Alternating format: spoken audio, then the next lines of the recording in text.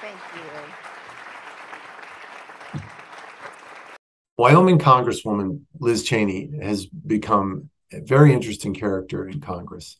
And this week, she's become even more interesting in that she is endorsing a Democrat for Congress. Cheney is endorsing Representative Elissa Slotkin. She's a Democrat from the Lansing area. She represents uh, suburban Lansing, and she is locked in a very difficult reelection campaign against State Senator Tom Barrett.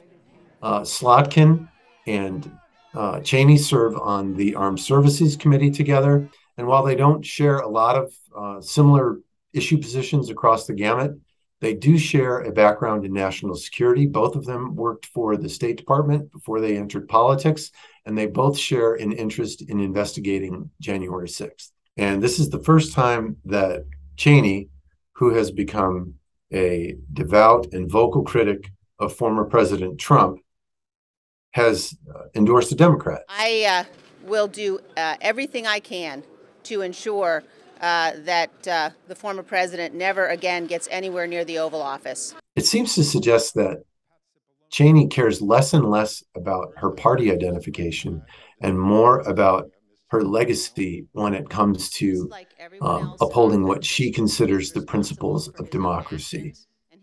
And this isn't just an endorsement on paper. Cheney is actually going to travel to Lansing and campaign with Slotkin uh, on November 1st. That's another first for Cheney to actually stand with a Democrat and promote her over a Republican in her race for Congress.